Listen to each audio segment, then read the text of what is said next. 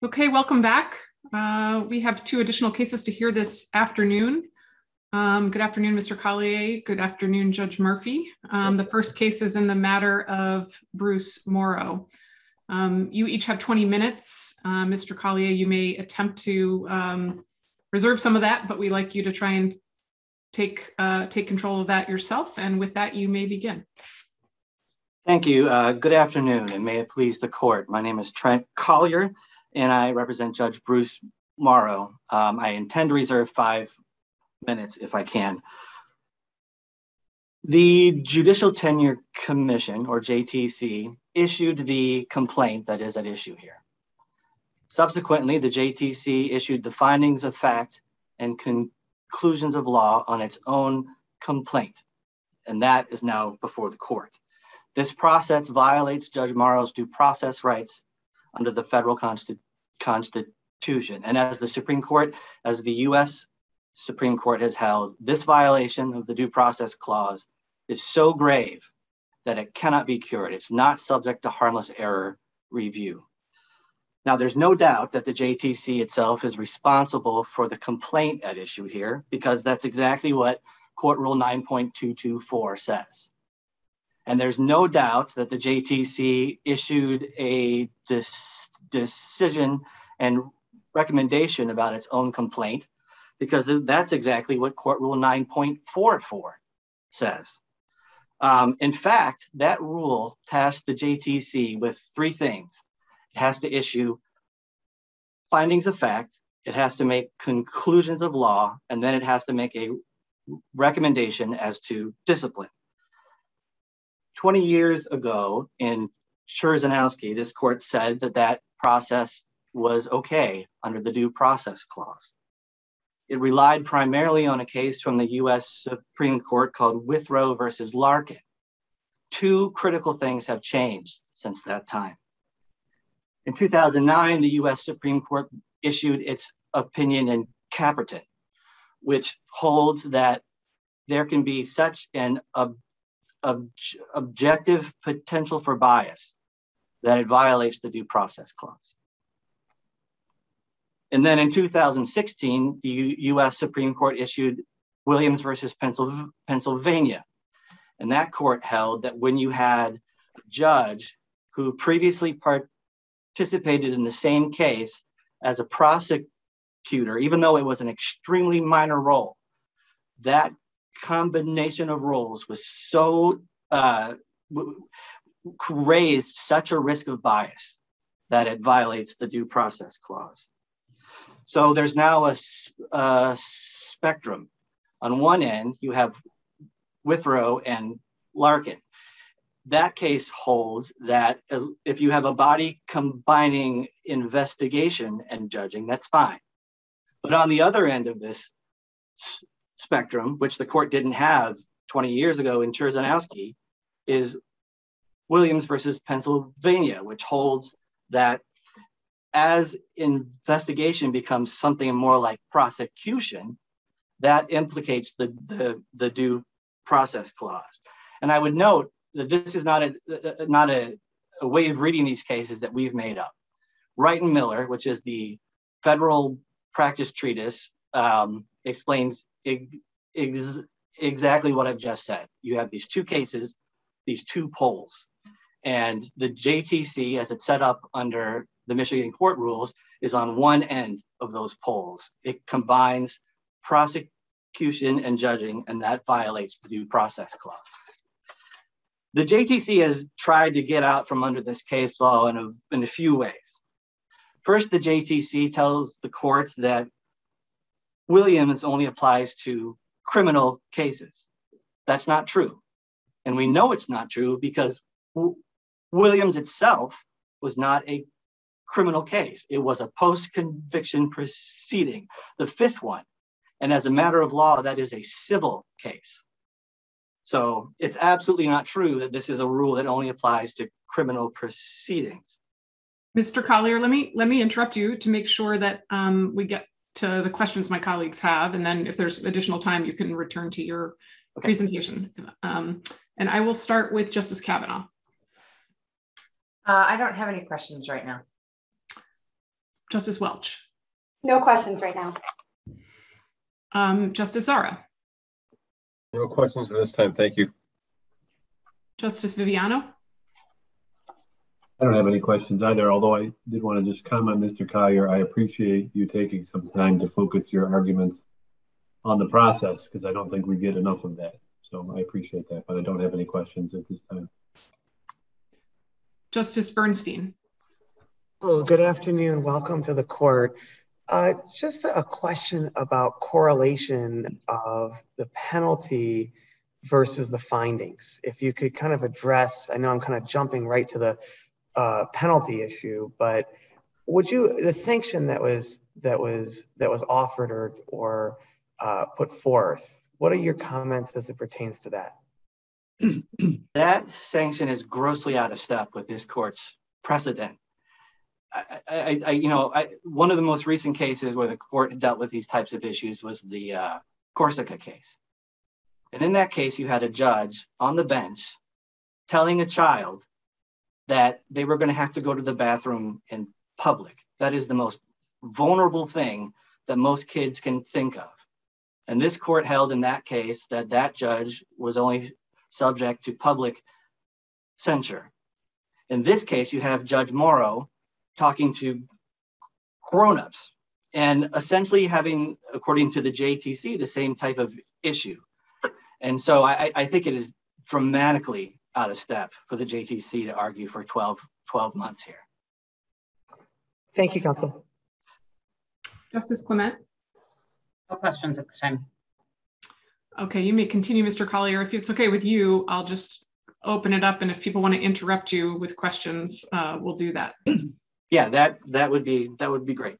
Um, the, so, so the next thing that the JTC says to try to get under this out of this body of case law is that the, is that it really only makes a recommendation. That's not true. MCR 9.244 expressly tasks the JTC which with making findings of fact and conclusions of law. In fact, this court has even said that it gives deference to the JTC's findings of fact. So we have a process in which the JTC issues a complaint, the JTC rules on its own complaint, and then this court defers to the JTC's findings. I, I think that is a clear violation of the due process clause as set forth in Williams. Um, next, the, the JTC says, well, this conflict doesn't matter because this court has final say. If that were true, then there would be no problem with biased trial court judges because the Court of Appeals can always hear their cases and overrule them. And that's not the rule for trial court judges. More importantly, that argument that bias only counts if it matters to the actual disposition of the case is contrary to what the US Supreme Court held in Williams versus Pennsylvania. The court held there that the error was so grave that it doesn't matter whether the judge cast the key vote the fact that a that, that a judge with that much risk for bias was involved in the process invalidated the whole process. Um, finally, uh, the JTC argues that there is a case from the o Oregon Supreme Court that deals with the same arguments that we're raising here and rejected them. That is not true. You read the case that the JTC cites, you will see the issue in that case was that a judge acting as a judge issued a dissent, and then the same case came back to his court, and then the party argued because of his actions as a judge in that case, he shouldn't hear the case when it came back to the court. That's obviously not the rule. No court follows that rule. And that's not the issue we have here. The issue here is the JTC is prosecutor and then judge. Um, now, I want to be clear that there is no doubt that those appointed to the JTC are honest, faithful public servants, but they are human. And what the US Su Supreme Court recognized in Williams versus Pennsylvania is that we tend to see evidence through the lenses of the views that we formed in the past. And because we have the court rule that requires the JT to form views about the case, it's going to view all of the evidence to try to confirm the view it formed at the outset of the of the case. Fortunately, there is an easy fix. The Michigan Constitution only requires uh, that the JTC issue a recommendation. This issue about the JTC issuing a complaint and then making findings of fact and conclusions of law about its own complaint arises only because of the court rules. So all the court has to do to fix this problem in the court rules is make the JTC have the same kind of structure as the bodies that are in charge of attorney discipline, meaning you have a, a separate body that decides whether to pursue claims and the JTC itself stays out of that process so it won't be biased when the case comes bef before the JTC. Uh, this is not this issue of bias is not an abs not an abstract issue. We cited six cases over the past 20 years in which the JTC has issued a complaint and then it, the case went before a neutral judge who heard the evidence, who was able to look people in the eye, and that judge decided that some or all of the claims were not proven. Then when it went back to the JTC, the JTC stuck with its guns and, and, and overruled the master. And even though it was the master and not the JTC who actually saw testimony. And I, I think that bias is clear in this case too. If the court looks at how the JTC has handled case law like Hocking, and that was a case where a judge on the bench essentially justified sexual violence. This judge said that because a woman allowed a man to, to come over to a place at night, that man was entitled or reasonable to presume that she wanted to have sex with him. That's what this judge said on the bench. This court held that that was not judicial misconduct. Um, in order to get out from under this case, the JTC tells this court that that judge was just using outdated gender roles. Absolutely not what happened. That judge was not being old fashioned. And what was so critical about Hocking is that this court recognized that sometimes when we're talking about cases, we're talking about very difficult things. There's issues of violence and sex and things that are very difficult to talk about. And it is important for judges to have a little bit of freedom to be able to express their views. And that's why this court said in Hocking that it has to tolerate comments that might seem tasteless. Um, it's not a First Amendment issue, it's just the principle that sometimes it's hard to be a judge and it's hard to explain things. Um, and actually, what is so troubling about the, about the way the JTC has handled this case is it tries to take everything Judge Morrow said out of context. For example, a number of the claims come from a conversation that Judge Morrow had in his chambers with one of the prosecutors and, an attorney named Bill Noakes. The issue in that case involved whether the defendant had sex with the victim, and if so, how he, he did. That was the issue in the case. So when Judge Morrow is using the F word or talking about things like that, they were talking about sex because of the case. The JTC takes that entirely out of, con- out of context. And I think that leads to a very skewed view of this case. Um, and the, the, the, JTC really consistently tries to turn the dial to make what Judge Morrow said seem different or worse than it actually was. One of the ways it does this is it says, um, Judge Morrow talked about the prosecutor's bodies. That sounds pretty bad. It sounds sexual, and that's no doubt what the JTC meant to convey. But in fact, he only asked them about their height and their weight. That's not quite the what the JTC was repre representing. Um, I think I'm going to try to reserve my time unless there's any questions on the bench. Let me see, Council. Does anyone have any additional questions at this point? Okay, you may reserve the rest of your time. Thank you. Thank you. Judge Murphy.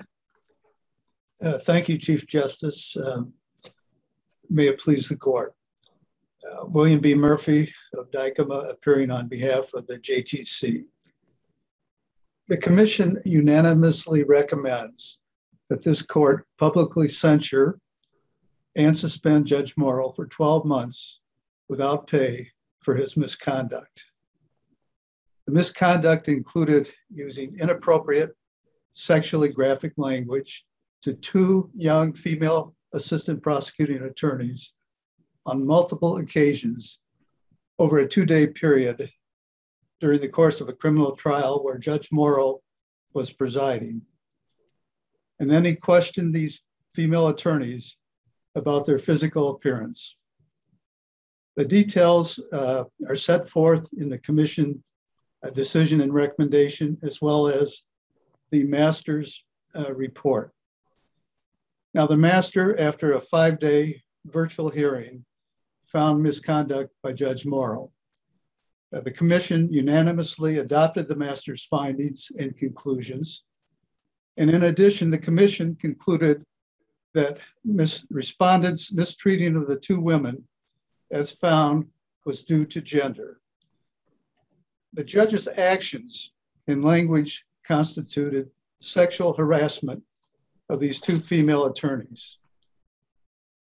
Now, Justice Bernstein uh, had some inquiry about the sanctions and regarding the severity of the sanction recommendation. I would simply point out that this was not an isolated incident, and Judge Morrow is not new to this disciplinary process. He has been admonished by the Commission on more than one occasion, including an earlier admonishment that cautioned him against engaging in conversations which are of a personal or intimate nature and which may be regarded as offensive or embarrassing. Now, around the same time, the state court administrator conducted his own investigation and expressed concerns about Judge Morrow's pattern of conduct and informed him that he needed to discontinue this pattern of conduct, this pattern of behavior, including refraining from initiating or participating in inappropriate conversations with staff regarding topics of a personal nature. Now, in addition to the warning and the admonishments, Judge Morrow was publicly censured by this court and suspended without pay for a 60 day period, dealing with 10 counts of a complaint brought by the commission, dealing with 10 different situations. In that case, the court found that the evidence, and I'm quoting, paints a portrait of a judicial officer who is unable to separate the authority of the judicial office he holds from his personal convictions. Now, the history of discipline in the current case before you illustrates that Judge Morrow is incapable, or at worst, unwilling to conform his judicial conduct and abide by the court rules and the canons of judicial conduct we must require of our judicial officers. The severe sanction recommended is necessary to restore and maintain the dignity and impartiality of the judiciary and protect the public. The judiciary in this state must know that the conduct, the misconduct of, by Judge Morrow against these two female attorneys cannot and will not be tolerated. Sadly, Judge Morrow has shown absolutely no remorse for what he has done. In fact, he has doubled down and claims he did nothing wrong. So far, 10 individuals, the master and the nine commissioners, disagree with his judgment. He blames the victim. He blames Ms. Bickerstaff and called her a liar. The master concluded otherwise, as did the commission. In view of these facts and the history, how can we expect anything else in the future? A severe sanction is called for. I would be happy to answer any of your questions. Thank you. I'll start with Justice Cavanagh. Sure. Um, thank you, uh, Judge Murphy. So I'm wondering if you can help me. As you know, it's a goal of, I think, both the commission and of this court to um, try to be consistent in sanctioning judges, I think for the, the, for any number of very valid purposes, including, you know, providing notice to, to judges of, of the potential consequences of misconduct and, and the reliance on, on a consistent application of, of discipline. Um, and so I'm, I'm wondering if you could share um, or give a little more analysis for us of what how you think that the recommended sanction of a 12 month suspension here is would be uh, consistent or treating like cases like particularly in light of the case involving judge iddings where for arguably more egregious conduct he received a six month sentence. Or suspension sorry. Sure. Well justice cavanagh it's um, a challenge for the commission uh, to try to find cases that are exactly alike so that the same recommendation can occur. But I do think the two cases that uh, the commission focused on, and by the way, the commission went through all of the Brown factors, and in its report uh, and uh, recommendation, uh, I think you can see how they analyzed each of those Brown factors. But with respect to trying to compare cases, uh, the Iddings case uh, dealt with a judge who had inappropriate conduct with a staff member uh, on a number of occasions, did different things as it related to that staff member.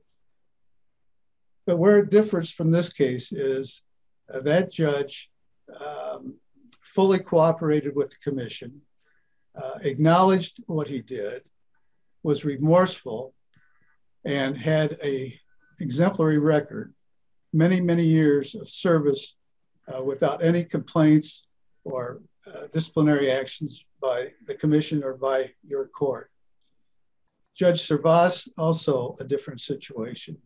Um, he um, inappropriately uh, drew a couple pictures of physical structures of the human anatomy, uh, put them on a court file, and made an inappropriate comment to another uh, staff member about the physical appearance of an employee.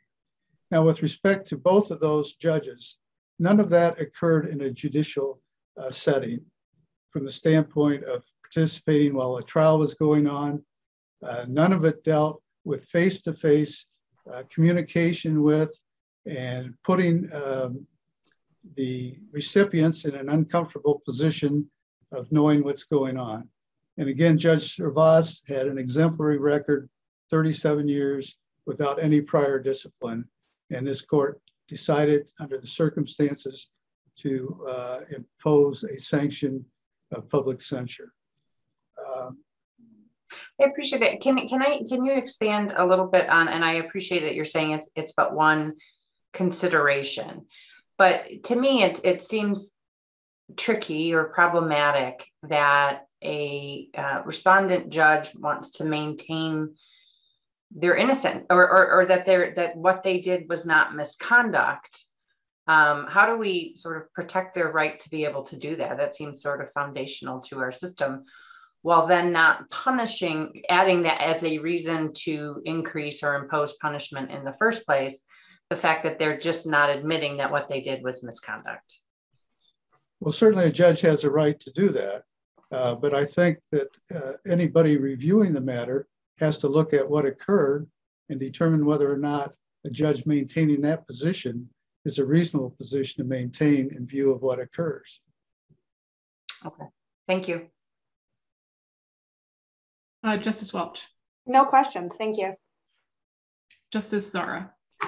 Questions, thank you. Justice Viviano. yes, thank you. Mr. Murphy, I have a question about the commission's decision to conduct the hearing by Zoom. We, um, you know, we've held that, that a criminal uh, defendant has the right under the confrontation clause to confront his or her accusers in an in-person trial. Um, we have not yet uh, allowed for civil trials to be conducted virtually. Um, and I think almost every other proceeding that I can think of where evidence is taken, including preliminary examinations, um, are still conducted, the parties still have a right to have those proceedings conducted in person.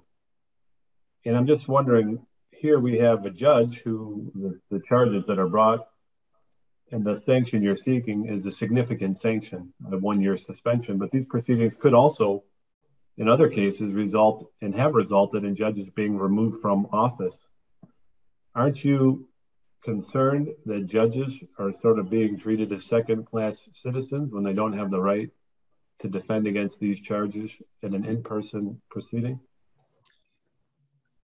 Uh, Justice Viviano, I would be uh, concerned if we were in an atmosphere uh, over the last 18 months that didn't deal with a pandemic. Uh, because of the pandemic, uh, the master determined, and I think it's a discretionary call, uh, that she wanted to have the proceedings by virtual, in a virtual manner. This would be different if, in fact, Judge Morrow and his counsel did not have a full opportunity to participate in the hearing, which they did over a five day period, opportunity to examine and cross examine witnesses, opportunity to present their own witnesses, could have even presented Judge Morrow if they had chosen to do so. They weren't obligated to, and they didn't. Uh, I just don't see where this process, uh, which is non criminal, is um, and may have other implications if it's a criminal case constitutionally. But I don't see where the uh, respondent judge has been deprived of any uh, right to fully inquire and challenge uh, the complaint that has been brought by the commission. Okay, thank you. Uh, Justice Bernstein? Uh, Counsel, I, I want to follow up a little bit with uh, Justice Viviano's question. Uh, using the Zoom, I mean, it, this is a very, his question is a very good one. The question I have for you is, is, is that there are certain folks that are at a tremendous disadvantage because they can't use Zoom, like blind people wouldn't be able to use Zoom. So I guess my question would be is, is, is that, you know, don't you feel the significance of an individual whose reputation and career, livelihood is basically on the line should require in person? Uh, Justice Bernstein, I cannot um, dispute that uh, in person would be a preferred method if we were not dealing with the unique circumstances that have existed in the state for the last 18 months. And um, beyond that, I'm not sure that but I, I guess my, my guess, my question back to you would be then, you know, is so ultimately, what it, is it the position of the JTC that it is the uniqueness of the circumstance that creates the disadvantage for the judge that, you know, ultimately because of the timing of the situation, he is to be put at a greater disadvantage? I'm not sure that uh, it is a great disadvantage. Um, I'm uh, fairly confident that uh, once the situation develops where we can get back to in-person proceedings, that that's what the commission will do. Right, but my question to you is then, for all the proceedings that are now taking place in this context, you know, is that, I mean, basically, how do I need to look at that? Is it just, is it more of a too bad or that's unfortunate? Or, you know, I mean, is this something that needs to really be significantly addressed? Well, I think you have to look at what occurred and what opportunity the respondent judge had in this virtual proceeding. And he had every uh, opportunity to question, cross examine, present witnesses, the same as if it were in person. Uh, does it duplicate in person? I can't suggest that it does, but I don't see any disadvantage in the process, particularly in this kind of a proceeding. Counsel, thank you very much. Justice Clement? Um, just following up on um, some of Justice Cavanagh's questions, when we're thinking about sanctions for um, this case, and then for similar cases in the future, should we be looking at the difference between whether or not there was a supervisory capacity um, versus what took place here, where it's um, you know a member of the bar, um, like an assistant prosecutor, or a member of the public, um, and then should we be considering whether it took place during a judicial hearing or outside of that setting? Just trying to see how much weight we should be giving to those when we're when we're looking at uh, prior sanctions and then in this current case and then and then thinking of of situations in the future. Well, Justice Clement, this occurred over a two-day period while a trial was going on that this judge was presiding over, and these two young female uh, assistant prosecuting attorneys were part of that process.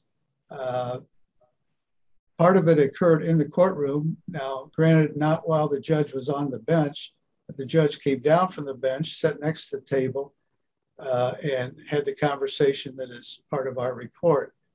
Uh, the second issue was with uh, one of the assistant prosecutors that he invited into chambers with the opposing counsel, and that's where that took place. So I think it's clear that that type of thing in this case occurred in the, in, in the court, in the courtroom. And he came out into the courtroom following that in chamber meeting uh, and started to ask the uh, two uh, female assistant prosecutors about their height, weight, etc. Um, so I, I, think that we're, we're in the uh, realm of a courtroom, unlike Judge Iddings, that uh, you know he was not uh, dealing with a trial situation, was not dealing with attorneys appearing in front of him. This would apply, uh, frankly, uh, I think, anybody that was in that courtroom that had to deal with what the judge did here. It happens to have been two female prosecutors, but if it had been a witness that he had this discussion with, if it had been uh, anyone else that came into that courtroom, I think you deal with the same kind of uh, uh, approach and the same kind of consideration. So, do we give um, greater weight if it's happening in and, and I, you know, I, I'm I'm understanding what you're saying. You know, whether it happened in chambers or or at the table, that it was part of, um, you know, the, the judicial proceeding. It wasn't, you know, at a lunch. It wasn't, you know, at some outside event. Um, do we give greater weight because it's in that type of forum than um, in the case of, of Judge Iddings, where it took place over you know several years, um, but was behind closed doors. And and um, and then the other part of that was, you know, is there anything to be thought of, of, if you have a supervisory um, capacity over an individual that is making the complaint versus it being someone um, you know similarly situated to the assistant prosecutors in this situation?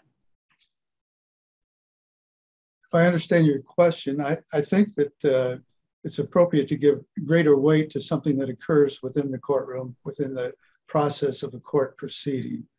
Um, you know, when you try to compare the cases, again, Iddings, Servaas to this, uh, it's just not limited to uh, the act itself, the conduct itself, the misconduct itself. Uh, I think you have to look at the entire picture, including the history uh, of the judge, uh, what they'd been disciplined for or not before, uh, whether they're remorseful. I think all those things are appropriate considerations. And those are the kind of things that separate Judge Morrow, in this case, in my opinion, from that of Judge uh, Gidding, or Judge Iddings or uh, Judge Servaas. Thank you, Judge Murphy. Um, Judge Murphy, let me ask one question. The, the, the JTC and the master didn't make a finding that um, Judge Morrow sexually harassed anyone. And I assume they did not because there was lacking, you know, proof lacking. So that makes me um, wonder about the comparison to Iddings. Can you address that? Well, I, I think that the commission did find that um, Judge Morrow uh, because of gender, uh, treated the two female prosecutors uh, in a disrespectful and discourteous way. Well, that's possible that, and, and different from sexual harassment, right? Not in my mind. Okay. All right, thank you. Um, I have used up all your time. Do you want to close uh, briefly or? I, I think I've presented a pretty complete picture here. There have been some good questions, obviously, by the justices. Um, I, I, think at the end of the day, um, we're dealing with a power situation here, a power of the position, a power of the robe, and abuse of that power. And because of that, I think a substantial and se severe sanction is appropriate, as the commission has recommended. I think public censure is appropriate. And again, suspension for 12 months without pay is the recommendation of the commission. Thank you very much. Uh, Mr. Collier, you have some time. Thank you. I want to just address a few points that came up. Uh, uh, on the on the issue of, of the, of the Zoom hearing and whether it was appropriate to hold a virtual hearing, this court has a rule that says a master must pick a time and a place to hold a hearing. That rule was not sus suspended during the pandemic. It applied here. There is no definition of the word place that would accommodate Zoom. And that's so clear that the JTC's argument to this court in its brief is that the word place could mean not an actual spot, but space in, in general. So if the argument is that the court rule allows a master to hold a hearing in space in general, we've gotten pretty far from what the court rule actually says. And anytime the argument is that it's too hard to follow the rules or it's not convenient to follow the rules. Those are red flags. And it was possible. Counsel, I have a question. Maybe it's because I'm a former trial judge, but I think that uh, it's really important in our justice system that credibility determinations are made in person by the fact finder so that they can observe the demeanor and body language, et cetera, of the witness while testifying uh, under stress, right, under cross examination. That's why appellate courts typically defer to the fact finding uh, uh, um, of the lower courts or, or of a jury. Um, my question for you is uh, Was your client um, harmed by this in light of what appears to be, in this case, that the relevant facts are almost all undisputed. Yes, my client was harmed. Um, there's there's a couple ways he was harmed. One is when you have an evidentiary hearing over Zoom, the finder of fact can't see a tapping foot or drumming fingers, or if someone's being coached from off screen. All of those tools are taken away in a Zoom hearing. And it's important in this case because there is an issue about credibility. Judge Morrow, from the very start, said, I said what I said. He, he acknowledged everything that he said. But the JTC keeps trying to make this case about sexual harassment rather than his, his words. And that, and that required the fact finder to assess the credibility of one of the young prosecutors it was this prosecutor who falsely claimed that Judge Morrow was hitting on her. And we know that she did not tell the truth because when she was under oath, she said he did not hit on her. And it really is shocking that the JTC would argue that Judge Morrow's discipline should be increased because he objected to being lied about in this fashion. It really is troubling, and I think it should trouble this this court. I don't know if that answered your question, Justice Viviano, but it did. It did. I appreciate your answer, and and uh, and, and your last point, I agree that we should be concerned uh, about the idea that a judge should be punished more when they acknowledge the facts, but then um, argue about what what conclusion should be drawn from those facts in a way that defends their position. I don't I don't really know how a judge could defend him or herself if they're not given that opportunity um, to defend themselves once the facts have been determined. Yeah. Um, just real briefly, the other issue is um, J, the JTC's counsel brought out the fact that the JTC found an issue of gender discrimination here and the master did not. It's important to note the way the JTC has kind of twisted the facts to support that claim. It argues that when Judge Morrow was in his chambers talking to Ashley Ciaffone and to Bill Noakes, he was only talking to Ashley Ciaffone. That's a bit like saying that I'm having an ex parte conversation with the court because I'm the one who's talking. But the JTC's counsel is here too, he's involved in this process, and Bill Noakes was present and he was involved in that process. Let me end just one more thing that really troubled me about the JTC's brief. The JTC told this court that these const- the constitutional issues that we raised are, in its words, a meritless sideshow. The Constitution is never a sideshow. And it is critical for the court to ensure that we achieve justice through a just process and a process in which the JTC issues a complaint and then acts as a judge over its own claims is neither just nor in compliance with the due process clause. I have nothing further. Thank you. Thank you, Mr. Collier, and thank you, Judge Murphy. The case will be submitted. Thank you.